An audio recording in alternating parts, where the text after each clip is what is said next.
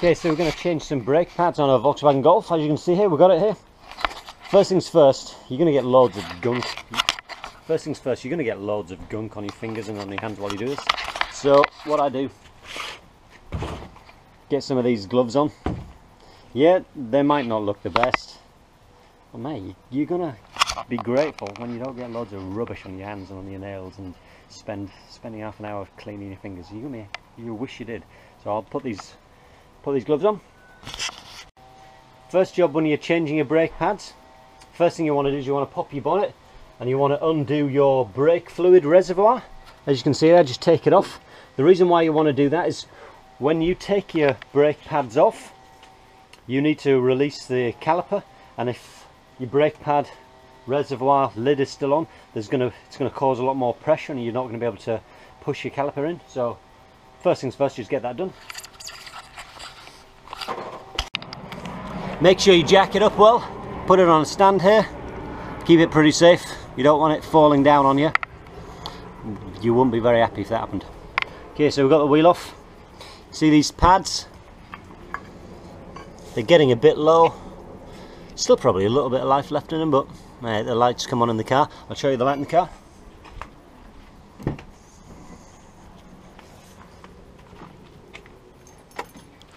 So you can see the light in the car there. That's the brake wear indicator.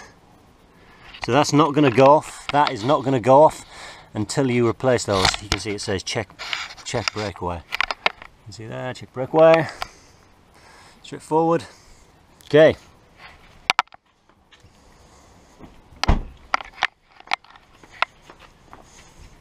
So what we want to do is we want to take this thing off here so these pads can fall out. Okay, so we're now Okay, so we've got to take we've got to take this nut off here, as you can see. It's the size of this is a it's a half inch nut. It's extremely tight, and that's what happens to your to your tills if you've got cheap tills. It's pretty strong. So be careful when you're taking it off because you can they're as tight as anything. As you can see, I've just split that, taking it off. So when you're doing it, probably best using a bigger spanner you get a bit more leverage on it and that's not going to damage. You also need to hold hold this thing in here to stop it from turning around as you're screwing otherwise when you turn it it's just going to spin both things around. So that's the first nut that I need to take off. So we need to take this one off and do the same one at the other side at the bottom. Okay so you can see I've pulled off the clip I've taken off the bolts and then I've pulled this out. What you want to do is you want to suspend this up because um, you want to suspend this up because you can see it's attached to the brake the brake pipe there which is the your brake pipe with all the fluid in it. So you don't want to have this hanging down so you don't want that to snap. Okay what you need to do is you need to once you got the pads off you need to push this cylinder in. So it's a bit tricky to pull push it in. So you can buy a specific tool to do it uh, I think they're probably they're not going to be much, probably twenty dollars from a, a, decent tool store. Or alternatively, you can use like one of these things. You know, if you're doing a bit of carpentry, cabinetry, this tool will squeeze in and just roll that. So, so you need to just push that back in. It is a bit tight. Uh, the reason why you need to release your brake fluid valve at the top, your cap, is because if you don't, you're going to be pushing against pressure and you won't be able to push this in. So as you can see, I've, that's what it looks like when you've pushed it fully in. I'm keeping it suspended, I'll just keep it on there. These things are out, so hopefully it's not going to fall down. And uh, we're ready to take the pads off. So these pads will pull off straight away easily.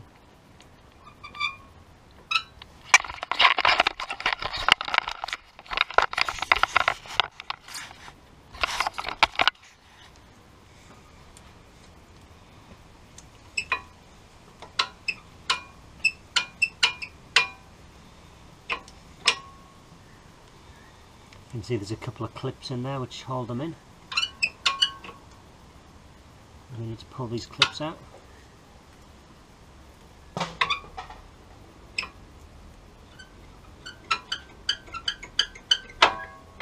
we go, you can see the levers out.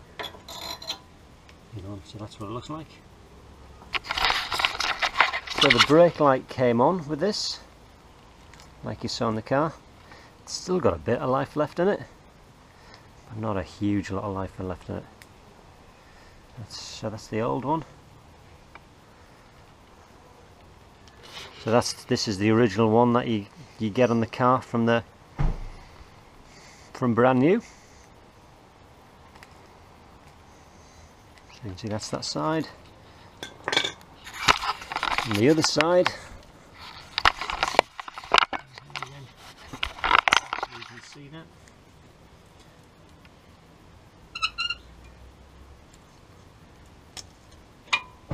Close it out.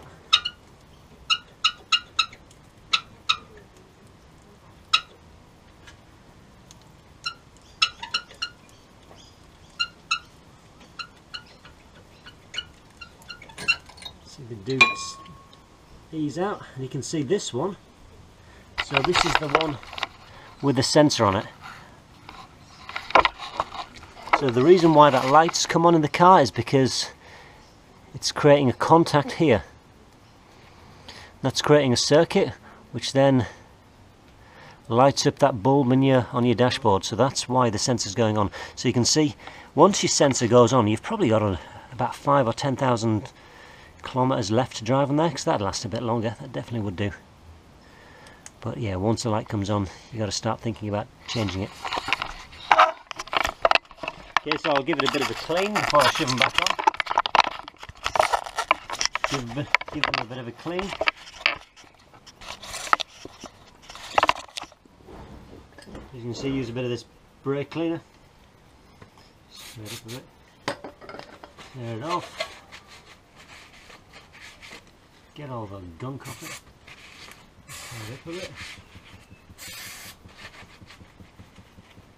Make it look a bit nicer. Do you need to do this? Yeah, probably not. Looks a lot a lot better.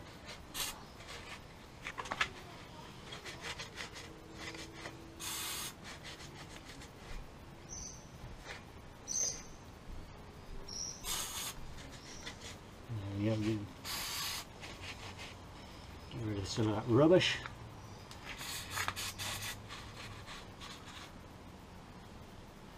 That's better.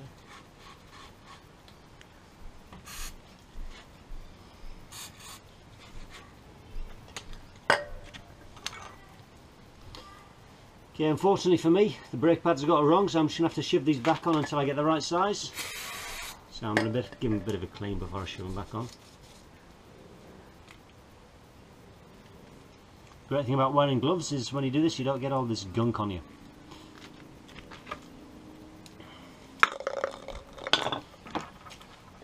Let's give this a good clean.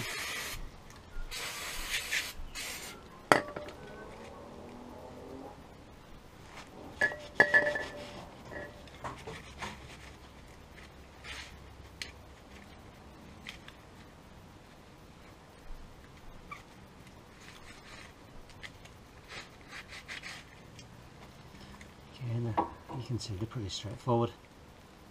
So snap them back in there.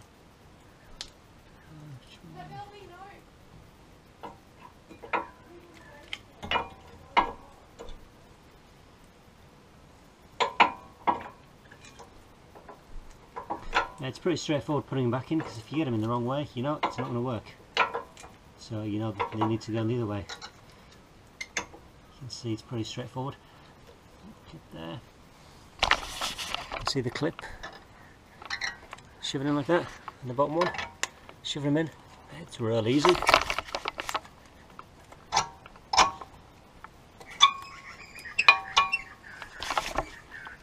Shove that one in.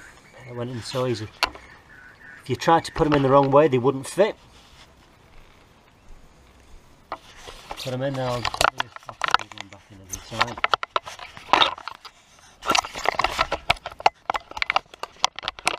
There it goes.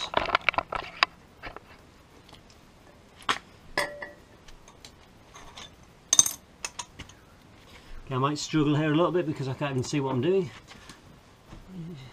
Do your best. Yeah, it's not too hard.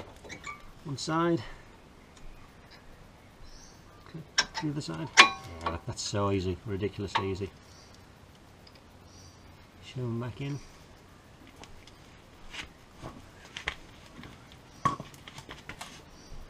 Okay, so we obviously want to then get the calipers back on.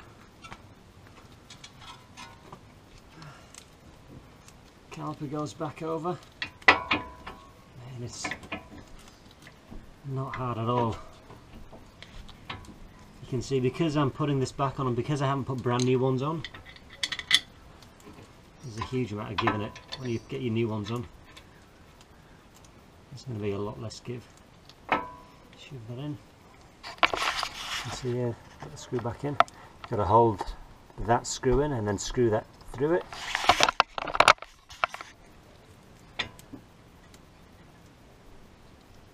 So turn around.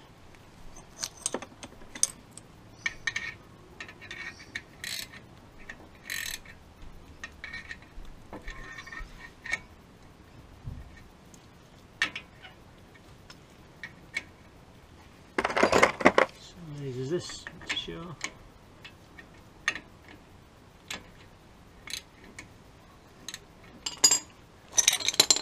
Some of these.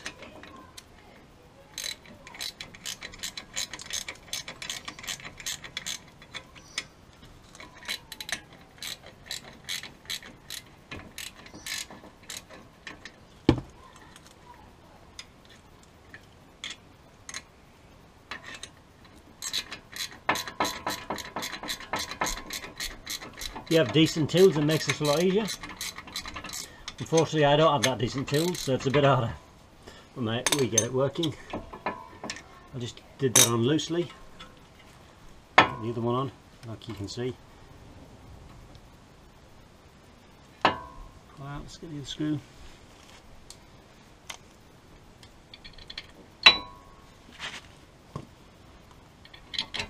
Back in.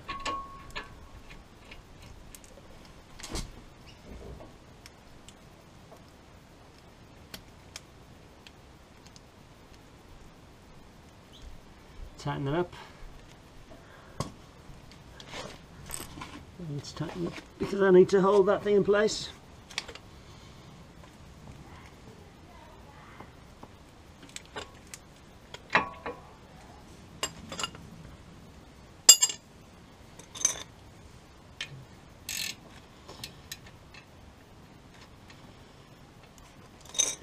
So you got to hold that there tight.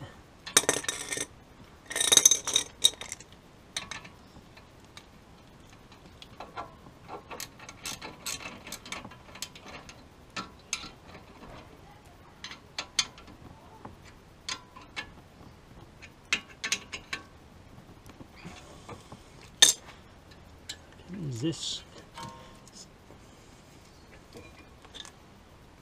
Foundation off.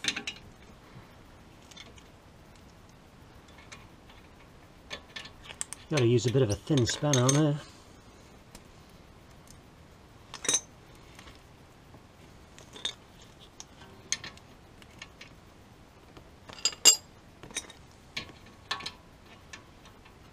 Okay, I'm going to use some mole grips.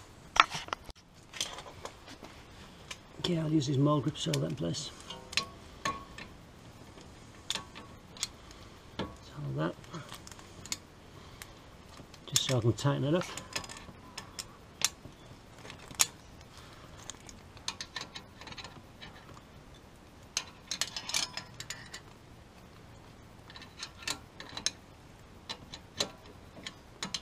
There go, that's a bit easier. Tightening up there? Tightening into place.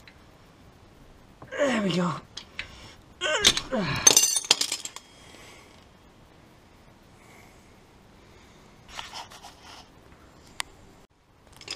So as you can see we're in a confined space and it's easy to smack yourself in the face when you're doing this. Be careful because when you do it it flipping hurts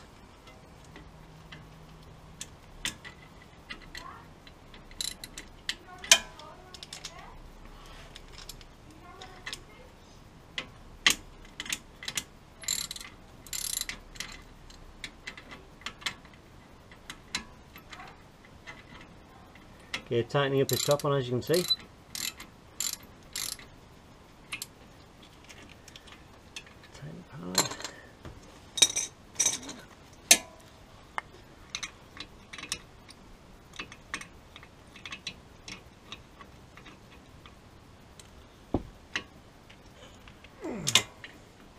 Okay, that's that tight.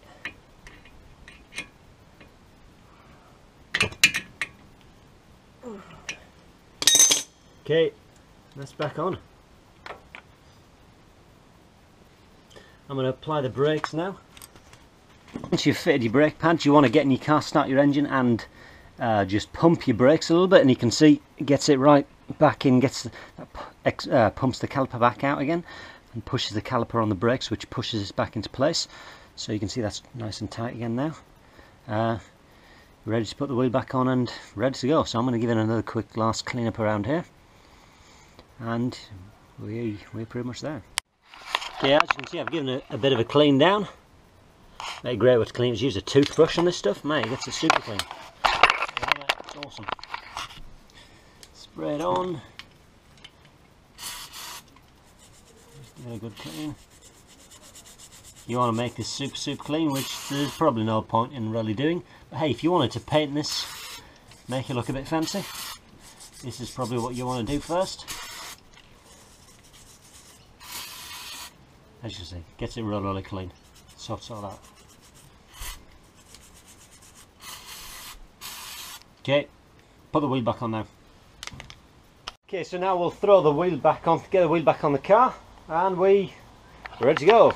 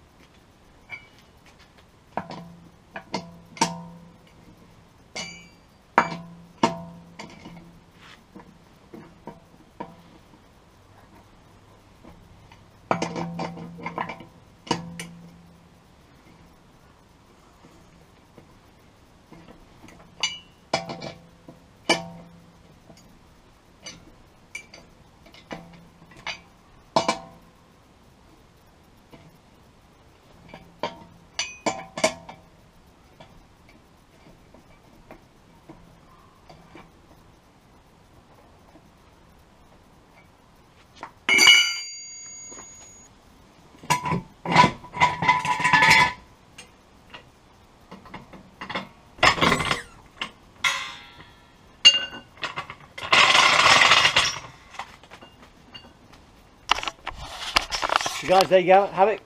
Job done. Uh, that's how to replace the replace the brake pads on a Volkswagen Golf.